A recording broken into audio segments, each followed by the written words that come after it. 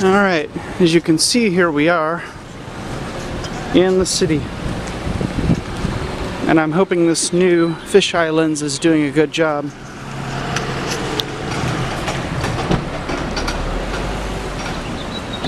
And now let's go and see if we can find some depression glass. Alrighty. Here are the shops. Just gonna move over here. Look at these little shops. Full of stuff. Antiques.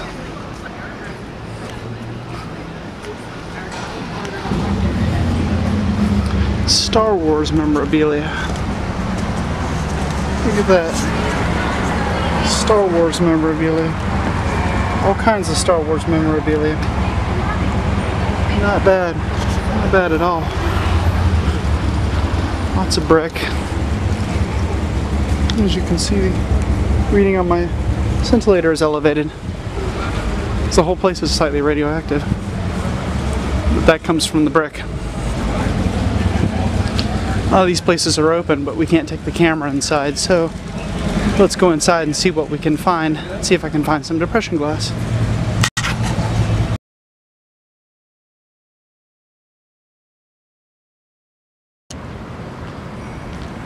Well, it looks like I got several good pieces of depression glass. I wouldn't call them amazing, but it's the best I can do for 20 bucks. In fact, it came out to $20 and one penny. The tax is what set it over. Look at this. Here's a museum. I will say I am loving this 8mm fisheye. I'm not really sure about the um, focus, but I am certainly sure I love the way it looks. I mean, it really is kind of neat. Look at this. Only with a wide angle, 167 degree fisheye do you get something quite like this. Amazing. So we'll, we'll get some of this depression glass back to the lab, test it out and see what it looks like. There's not too much street art here in the city. There is a little. It's sort of interesting that with this lens I can see it in a whole new light. Though I don't think I have the focus right in this thing. I think this is better focus right here. You think so? Look at that.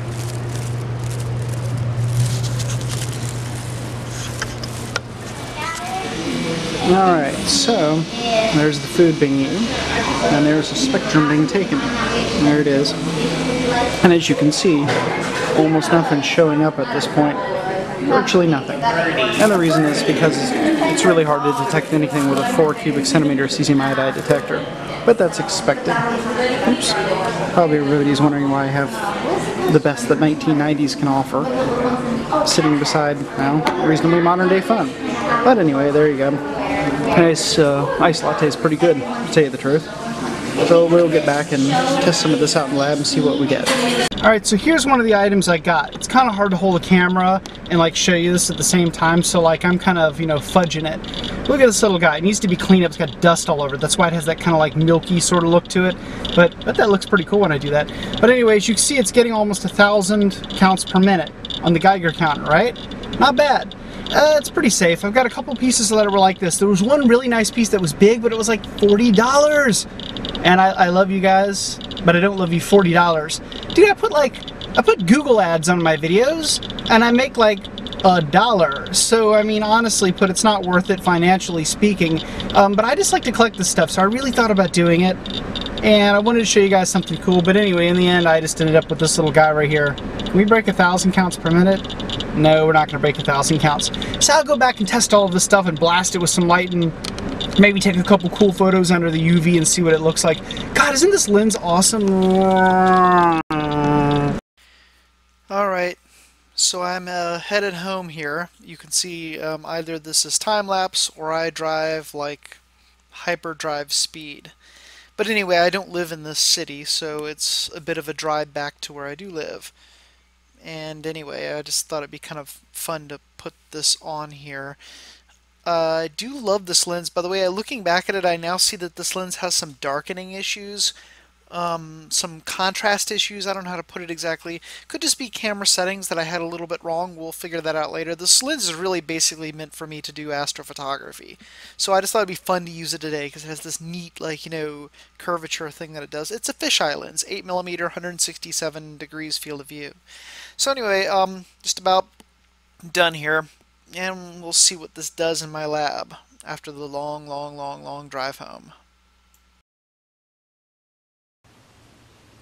Alright, so we're back. Let's take a look at what we got. First off, I got this little piece right here. Let's kind of stick it right there so you can see it. And it's like an ice cream dish or something. It's hard to keep this in focus. Um, it glows pretty well overall. In fact, I'd say this is the hottest, strongest, most glowy piece that I received. The second piece is kind of interesting. It's actually a um, saucer and cup duo. Let's kind of put this down here and move these over so you can see them. The cup has this nice kind of six-sided shape to it and the saucer, well that's what the saucer looks like. See? Kind of has that spider web sort of thing going on. It's really rough around the edges too. You could cut yourself really easily.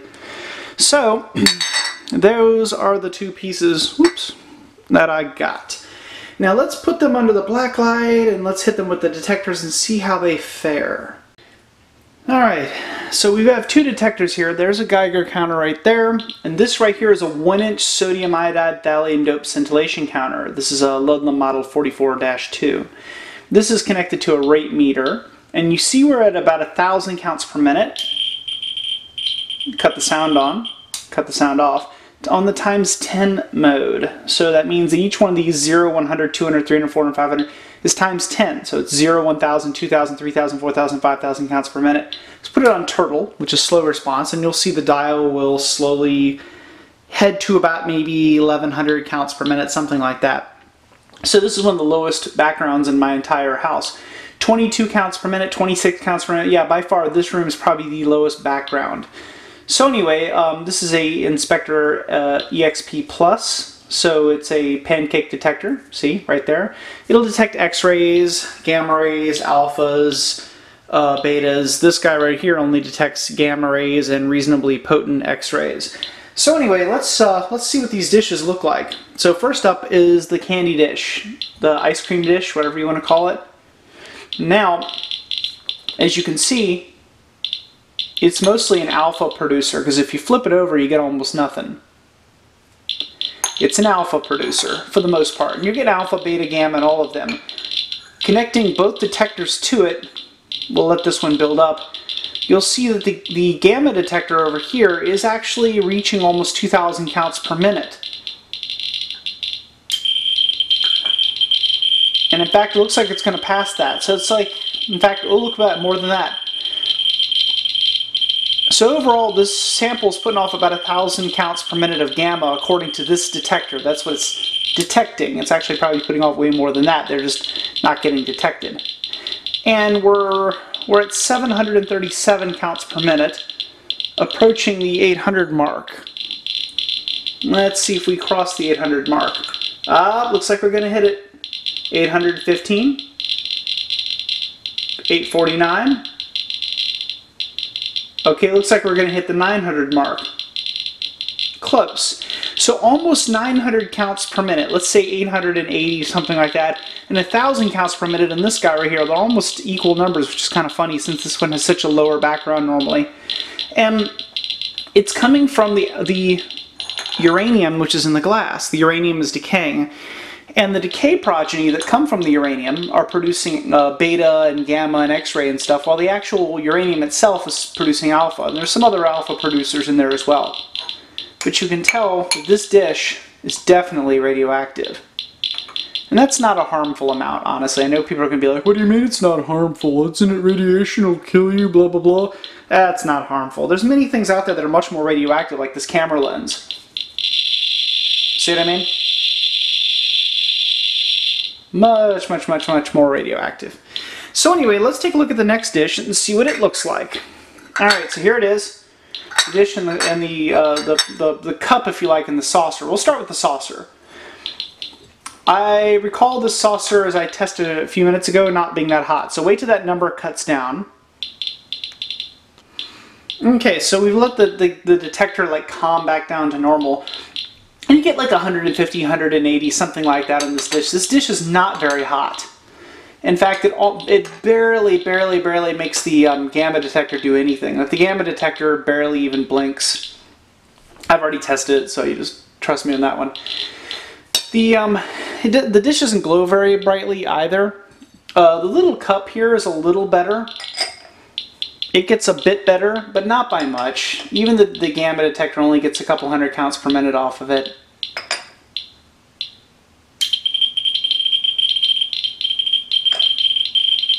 Not much of anything. And it's not going to get much of anything, and the reason is because this little cup's not that high in uranium. We'll put the base up against it, we'll probably get the highest reading of all. Yeah, not much. So let's put them under the black light and see what they look like underneath that, alright? Alright, you can see they glow a little bit, but not a vast amount. So let's put the brighter UV light on them and see what we get. Hmm, there we go. It was weird. My light cut off for a second there. And as you can see, that's weird. It keeps like dying. They don't really bright glow. The hell? They don't really glow that brightly, do they? They're not the brightest glowing that I've ever gotten before. Now this guy right here, the candy dish, vastly outperforms the other. As you can see, when you put the black light on it, it vastly outperforms the other one. Um, it has a nice, healthy glow even from above right here. The other dish, well, the cup glows, right? But the saucer just doesn't really put out that much. It has to have the black light almost directly on it. It's definitely uranium glass, but not very strong uranium glass. The candy dish, not candy dish, I'm sorry, I keep saying candy dish for some reason. The um, ice cream, dessert, whatever you want to call it, dish is much brighter. So we'll take a couple quick photographs here and toss a few of them up so you can get a good look at what it looks like. But all in all, I say this was a pretty good find. These weren't too bad. It's hard to get really good stuff unless you want to pay a lot of money. They had some really good pieces there, but they were these little five and six dollar pieces all of a sudden become 60 and 70 dollars, a 100 dollars when they look really, really nice. They had Little Uranium Girl. She was only like maybe maybe that big, little tiny thing, made of uranium, and she was like 50, 60 bucks. So like, you know, they, they, they specifically charge you for, for the stuff that looks better. I mean, obviously it's the way that works. But they used to put uranium in, in dishes, and people used to eat off of them, and these guys right here probably came in a box of soap or oatmeal or something mixed with the food and other stuff. And that's what people did back in the 50s when everything was wonderful, happy, Dick and Jane, and apparently extremely toxic and nobody knew. There you go.